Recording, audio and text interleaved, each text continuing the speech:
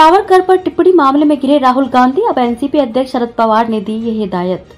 राहुल गांधी सावरकर पर टिप्पणी करने के बाद घिरते नज़र आ रहे हैं। महाराष्ट्र में एकनाथ शिंदे और उद्धव ठाकरे गुट ने इस पर कड़ी नाराज़गी जताई है। एनसीपी प्रमुख शरद पवार ने गांधी परिवार को सलाह दी है कि उन्हें अब से विनायक दामोदर सावरकर की आलोचना नहीं करनी चाहिए। शरद पवार ने सोमवार शाम कांग्रेस अध्यक्ष मल्लिकार्जुन खड़गे द्वारा आयोजित रात्रि भोज में विपक्षी नेताओं की बैठक के दौरान ये मामला उठाया। पवार ने राहुल गांधी को सावरकर की आलोचना नहीं करने की सलाह दी।